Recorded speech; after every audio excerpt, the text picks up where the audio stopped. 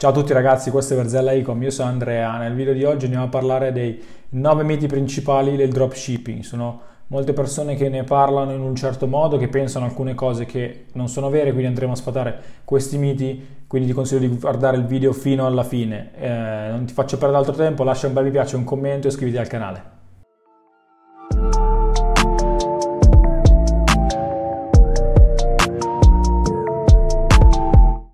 Ok, ci siamo. Il primo mito è eh, diventare ricchi velocemente. Cosa vuol dire?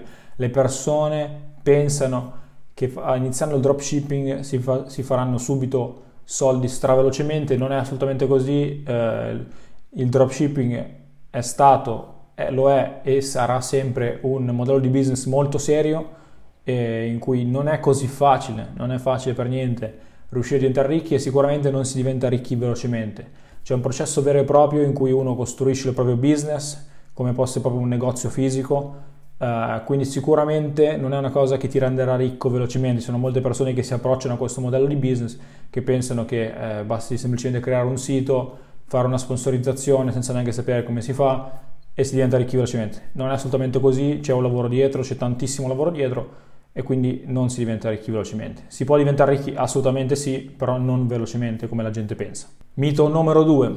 Le persone, molte persone pensano che eh, nel dropshipping si deve per forza spedire i prodotti dalla Cina.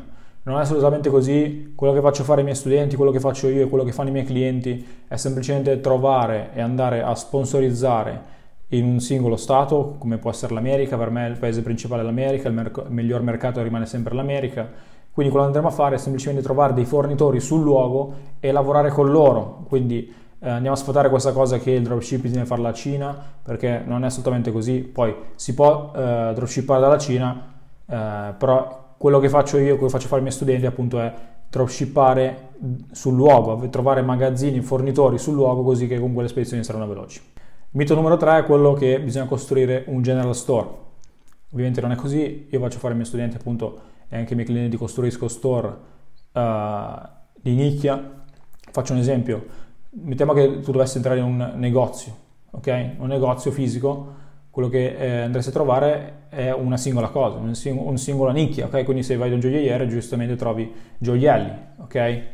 Se, se entri in un negozio che ha dentro gioielli, tv, eh, prodotti per animali domestici, così così, non ha molto senso, no? soprattutto nel 2020 in cui comunque eh, il sito diventa piano piano sempre più importante, la gente comunque si deve fidare di te, ok? Quindi andiamo a sfatare questo mito. Quarto mito da sfatare è quello che eh, le persone pensano che bisogna spendere soldi per capire se un prodotto può andare o meno. Quello che consiglio io e quello che andremo a sfatare adesso è semplicemente il fatto che eh, per capire se un prodotto può andare o meno, prima di iniziare a testarlo, eh, bisogna fare una ricerca di mercato. La gente spende troppo poco tempo eh, nel ricercare un prodotto e pensa più magari a tutto il resto, quindi spe- pensa, anche io dico sempre ai miei studenti comunque di non perdere troppo tempo magari nella costruzione del sito o comunque eh, in cose che vengono dopo. Bisogna, cioè, bisogna, spendere tanto tempo nella ricerca del prodotto, ok? Io comunque all'inizio del dropshipping cioè quando ho iniziato io diciamo mi facevo anche fino a 4, 5, 6 ore di ricerca prodotto, è molto importante, ok? Mito numero 5. Eh, nessuno comprerà da te perché sei uno store sconosciuto. Questo non è assolutamente vero. Costruendo appunto, tornando comunque ai punti di prima, eh, costruendo uno store di nicchia, sicuramente dando la migliore esperienza al cliente, eh, questo sicuramente farà che sì che il cliente ti compri comunque, soprattutto in America. In America funziona che se al cliente piace il prodotto che vede, lo compra, non interessa se è di marca o meno, ok? Quindi quello che nessuno comprerà da te perché sei uno store sconosciuto non è assolutamente vero. Quante volte vi è capitato, eh, soprattutto al cliente americano, eh, di comprare da, da siti in cui che, no, che, non sono conosciuti magari come i, i marchi grossi, quindi eh, tenendo uno store in, in una nicchia specifica, avendo un prodotto specifico, dando una una, la, la, migliore esperienza al cliente, sicuramente possiamo sfatare questo mito. Sesto mito, eh, quello praticamente che la spedizione eh, ci metterà 2-4 settimane. Almeno che tu non spedisca dalla Cina, allora forse in quel caso ci, può, ci può mettere 2-4 settimane, ma anche adesso dalla Cina c'è un tipo di spedizione molto più veloce che si chiama Yan Express, che ci mette circa, io la, io la uso molto spesso per alcuni prodotti, eh, non da spedire in America perché in America abbiamo gli store con i fornitori appunto sul luogo e ci mette circa di media 6 giorni, 6 business days, ok? Roba così. Quindi questa storia del ci mette tanto, il dropshipping non funziona, non è vera, andiamo a sfatare questa cosa, appunto come ho detto prima, eh, uno va a cercare i fornitori sul luogo, così che comunque una volta che ti processa l'ordine il fornitore ci metterà circa 24-48 ore, in 3-5 giorni ti consegna al, al, cliente finale, ok? Quindi togliamoci in testa che il dropshipping la spedizione è lunga, eh, perché non è così. Mito numero 7, dropshipping è uno scam penso che comunque persone come me abbiano dimostrato il contrario, quindi le persone che dicono che è uno scam è semplicemente perché sono le persone che non hanno messo abbastanza impegno nel, nel business, perché comunque come abbiamo detto non è facile come modello di business, molto, è intu- è molto facile da intuire, ok, ma non è facile soprattutto da, da eseguire. Eh, quello che possiamo vedere, che dico sempre anche, è che ci sono molte persone, appunto quelle che dico prima, che non hanno messo abbastanza impegno eh, che fanno store a caso, sponsorizzano cose a caso e il cliente poi giustamente magari compra da loro e eh, una volta che il prodotto gli arriva dopo magari appunto 2-4 settimane perché non hanno idea di come cercare un fornitore, non hanno idea di come cercare un prodotto di qualità, eh, il cliente è arrabbiato perché eh, ovviamente è arrivato dopo tantissimo tempo, il prodotto non è della stessa qualità di, del, da come diciamo ha visto la sponsorizzazione.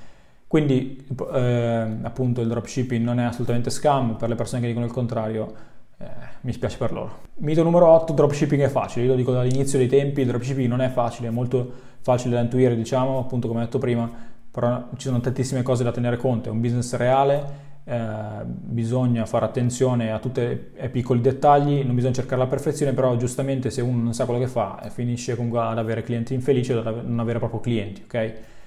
Quindi comunque il dropshipping non è facile, lo dico sempre anche alle persone che mi scrivono in DM, non è facile, eh, bisogna mettere tanto impegno, bisogna avere tanta pazienza, il successo arriva, però bisogna metterci appunto il giusto quantitativo di energie e spenderci tempo, perché comunque eh, ci sono anche persone che dicono eh no, eh, non lo so, non riesco a farlo, ho provato un prodotto, hai provato un prodotto e, e gli dici che non, non, non, sei riuscito nel dropshipping.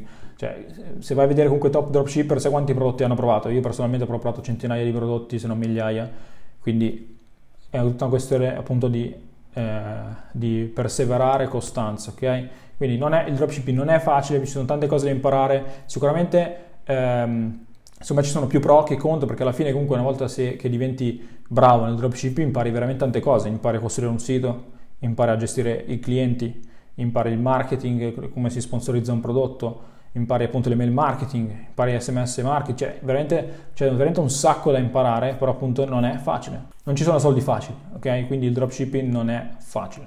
Mito numero 9, il dropshipping è morto. Il dropshipping non è morto, lo sappiamo benissimo, vediamo i risultati, vedono i nostri risultati, vedono i risultati degli altri, comunque continuano a fare un ottimo lavoro. Eh, il dropshipping è morto per le persone che non, non sanno costruire un sito, che non gliene frega niente del cliente, che non vogliono migliorare proprio il sito dopo che una volta che hanno un prodotto vincente, perché comunque giustamente se uno vuole costruire qualcosa di reale, una volta che hai un prodotto vincente, uno deve anche aggiornare il sito, continuare ad andare avanti, comunque a iniziare a creare una vera audience, ok? Quindi per tutte queste persone appunto che non hanno messo abbastanza impegno, il dropshipping eh, era morto anche prima di iniziare, nel senso, quindi eh, sono solo persone appunto delle persone negative che pensano che il dropshipping sia morto dropshipping non è assolutamente morto, non può morire perché non, cioè non è che è un qualcosa che finisce, ci sarà sempre questo modello di business, ok? Magari potranno finire altre cose, ok? Ma non, sicuramente non il, il dropshipping. Quindi per le persone che dicono che il dropshipping è morto, sappiamo benissimo che non è assolutamente così. Quindi il video è finito, andiamo